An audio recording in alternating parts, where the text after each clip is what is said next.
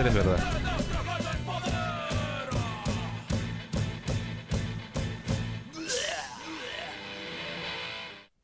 Bien, Tony Stark lamentablemente no pudo llegar, nos ha dejado su casco y encima nos ha dejado una trampa, ¿no? A ver, su- no se asusten, por favor, ¿ah? por favor. No hay alusiones personales a nadie tampoco, eso también hay que decirlo. Simplemente nos encontramos con esto. por Dios, ¿quién ha puesto esa cosa ahí? Es un botero en miniatura, ¿no? Bueno, antes de presentarles a nuestro invitado de esta segunda parte, simplemente quería comentarles qué bien que está la República. de verdad, de verdad. Suscríbanse a la República y van a obtener el país. Tú sabes que para mí el país es un periódico que yo entro a internet desde hace años para buscar la columna piedra de toque de Mario Vargas Llosa cada 15 días para encontrarme con los artículos de Maruja Torres, de Rosa, ¿cómo se llama Rosa? La de la loca de la casa, Rosa Montero, eh, entre otros columnistas y periodistas como Pablo Ordaz, en fin. Estaba también acá eh, Carlos Fuentes, que se, ya, ya, ya falleció hace poco.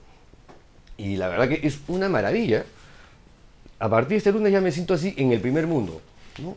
Te vas ahí, te llega de pronto a tu, a tu casa el diario El País, tal cual se vende en Madrid, en Argentina también hay, y creo que en otro país latinoamericano. El, el Perú es uno de los pocos países que puede este, tener este lujo, que se mantendrá, me imagino, en la medida que aumenten los suscriptores. ¿no? Qué gran periódico La República. y la revista Caretas también. Ah, y mañana, no se pierdan por si acaso, Hildebrand en sus 13. Algo me han dicho que van a hablar sobre una bronca en el Twitter esta semana que ha habido. No sé, no sé. Uno escucha siempre cosas, ¿no? Bien, Gonzalo Cano es un psicólogo, eh, tiene un blog en RPP eh, y además de eso, hombre casado, con hijos, hijas, ¿no? Una hija. Una hija, es un Ironman.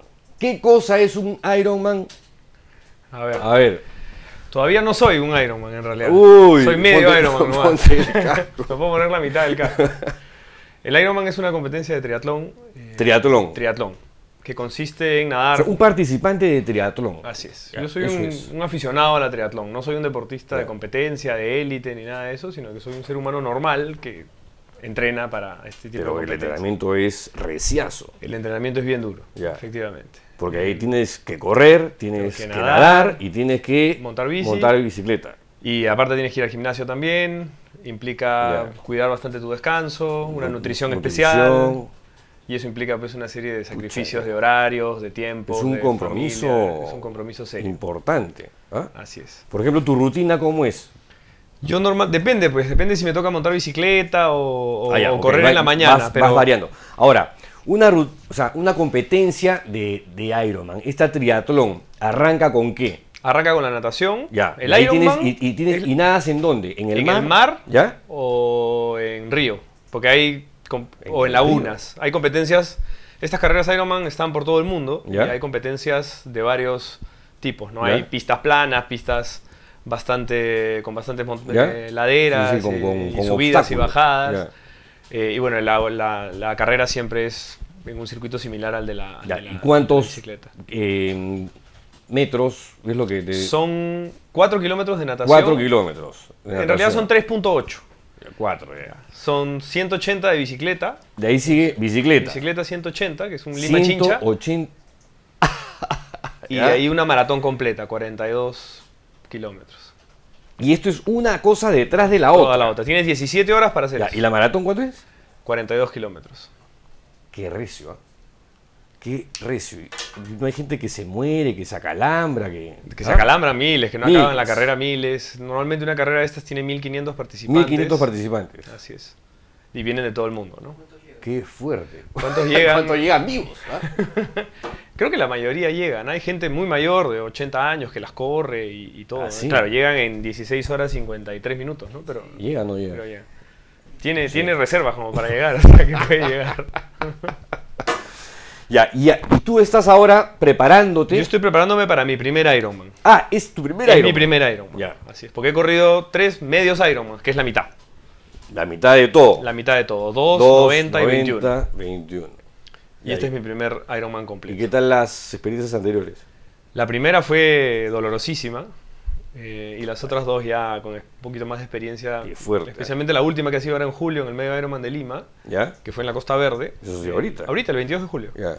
Tranquilo, o sea, fue parte de mi entrenamiento, Ya. que comenzó en enero en realidad. eh, y la hice tranquilo. Ya, o sea, ¿Y este cuándo, cuándo dices que va a ser? Este es el 25 de noviembre en Cozumel, en México. Ah, qué bonito. En la, en la isla. En la isla. En la isla. Ah, Nadas bacán. en el mar, eh, frente sobre el arrecife de coral. Luego le das tres Qué vueltas bacán, a un ¿eh? circuito en bicicleta alrededor de la isla, de 60 kilómetros cada vueltita. ¿Y arrancas en dónde? Arrancas al frente, en Playa del Carmen. Arranco, no, no, no, arranco, es un cuadrado. Sales de la playa misma. Ah, de la playa Cozumel, misma. Haces un Ah, cuadrado y regresas. Ya. Ah, Pa- par- partes del mar, además, flotando. Ya. Así es. Bueno, me imagino que si les agarra pues uno de estos tornaditos. No, supongo ah, que cerrará, cancelarán la carrera, ¿no? te va a agarrar ahí con obstáculos en Sí. el mar. Sí. Esto es 25 de noviembre en Cozumel. Ahora, tú has iniciado una campaña personal, Así es. independientemente de tu entrenamiento, de tu participación acá. Así es. No, sí. porque todos los Ironman, pero yo, yo eh, tengo dos, dos patas que son Ironman.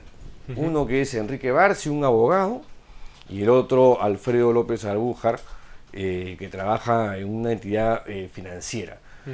Y los dos vienen practicando esto pues hace un montón de tiempo, ¿no?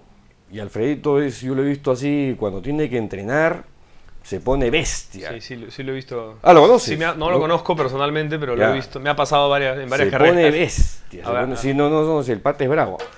Em, y nada, yo los veo que están buscando siempre auspicios porque, no, para el viaje, para Claro. que no sé qué, o sea, porque si no tiene que salir de tu bolsillo. Sí, el viaje es caro, eh, todo el equipo es caro, yo me estoy pagando todo, este, porque no quiero que esos costos interfieran con la campaña. Digamos, yo no soy un deportista como ellos, que sí podrían ser auspiciados porque en términos deportivos tienen buenos resultados.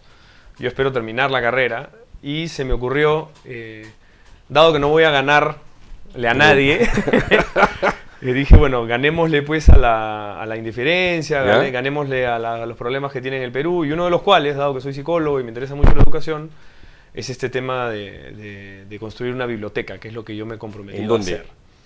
Es una comunidad de niños que se llama La Sagrada Familia, que existe hace más de 20 años aquí en los Arenales de Ventanilla, ¿Ya? eh, que ha tenido, recibe niños, tiene niños desde un mes hasta los 19 años, huérfanos en su mayoría, eh, o en condiciones pues este, económicas muy complejas, y los reciben, los crían, los educan, les enseñan, eh, tienen una serie de formaciones laborales ¿Quién- quién en maneja eso? carpintería. El director es Miguel Rodríguez. Es un chico que tuvo, bueno, un señor ya, que tuvo una experiencia de, de perder un hijo eh, en una Wow. clínica y encontrarse con unos niños ahí mismo al salir de la clínica, eh, tratando de recibir atención médica que no le recibieron, uno de los cuales murió también. Entonces él, eh, a raíz de esto, con su mujer, eh, ya tenían otros hijos también, venden todo y se van a los arenales de ventanilla para recibir niños de, de- que, que tuvieran estas condiciones de abandono. ¿no? Entonces tienen niños pues con todos los tipos de abandono y de maltrato que a veces el abandono Wow, pueda tener. sí. Niños y niñas, entonces tienen varias casas, los dividen por edades, por sexos, van al colegio y una de las cosas que necesitan es construir una biblioteca. Ya, entonces, este gesto recontranoble de tu parte, si alguien quiere apoyar en esta causa, ¿cómo hace? Eh, existe un blog Aquí, aquí hay que tocarle la... Existe un blog que se llama Yo corro, ellos leen, punto Yo blogspot. corro, ellos leen. ¿Eso se puede poner ahí abajito, mi querido Oscar? No. Yo corro, ellos leen, blogspot.com. En el blog está toda la información de ¿Ya? la campaña. Lo he arrancado recién el viernes de la semana pasada, ¿Ya? presentando un poco lo que quiero hacer, presentando a la comunidad, presentando cómo ayudar y voy a ir Yo corro, Ellos leen blogspot.com, perfecto. Blogspot.com.